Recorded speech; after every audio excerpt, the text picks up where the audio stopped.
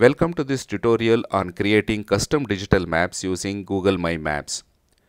To get started, open your web browser and search for Google My Maps. Click on the first search result, which will take you to the Google Maps website where you can create your own personalized maps. First, you will need to log into your Google account. Enter your email address and password, then click Sign In. I'll skip this step as I have already signed in. Once you are logged in, you will be taken to a blank page. Can you see the tab labeled Create a new map? Click on that to begin. A dialog box will pop up. Go ahead and click Create to start a new map project. All the maps you create will be automatically saved here in Google My Maps as well as in your Google Drive. This is the main interface you will be working with to build your custom map. Let's start by naming your map. For this example, we'll call it Major Dams of India. In the description field, you can add some context such as class 10th CBSE map items water resources. Click Save when you are done. Next, let's name the layer we will be working with. The default is Untitled Layer. Go ahead and rename that to Dams of India and save your changes. Now we can start adding specific locations to the map.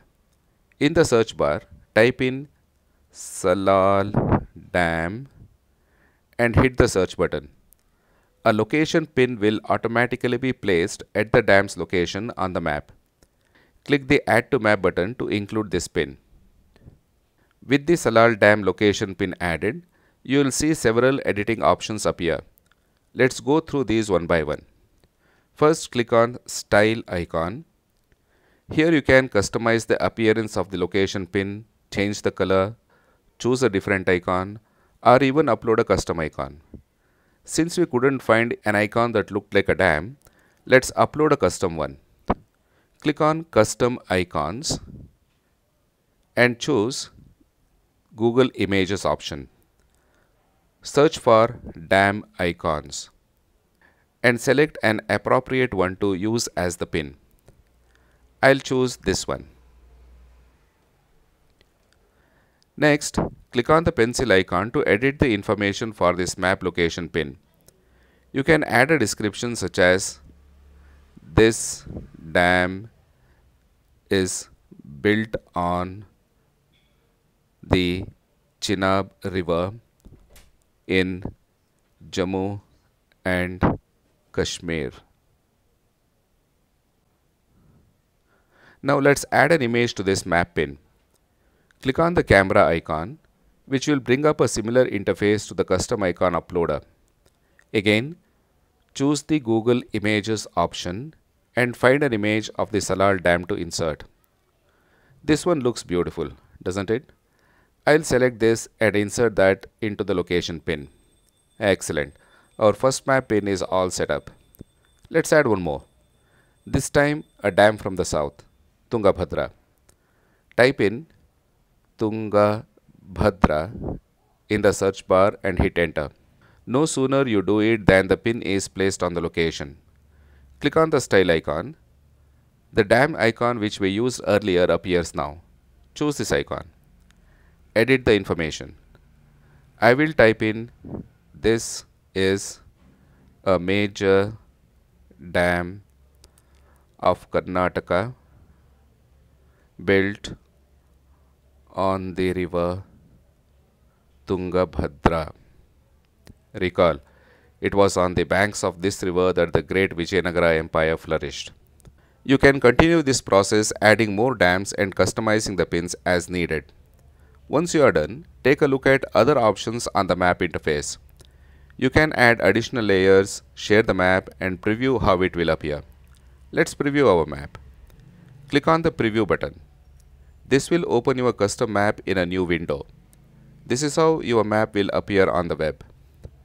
In the preview, you can see the location pins we added for the dams. If you click on the satellite image option and zoom in, you can actually see the real world imagery of the dams. It's quite a marvel, isn't it? Now let's go back to the Google My Maps interface. Click on the share button. In the pop-up window, you will see an option to anyone with the link can view. Toggle this on if you want to allow anyone with the link to access your map. You can even make your map searchable by enabling this one. Enable both of them. Once you have chosen your sharing settings, copy the link that's generated. You can paste this link into your digital portfolio or share it directly with your friends and family. If you have a blog or website, you can also embed your map directly onto the page. To do this, click on the menu button next to the name of your map. Select Embed on my site option. This will bring up an iframe code snippet. Simply copy this code and paste it into the HTML of your web page or blog post. This will embed the interactive Google My Maps right onto your site. This covers the basic workflow for creating an interactive digital map using Google My Maps. Now you have the skills to create your own custom maps using Google My Maps, don't you? Don't forget to add the link to your finished map in your digital portfolio. Thanks for watching.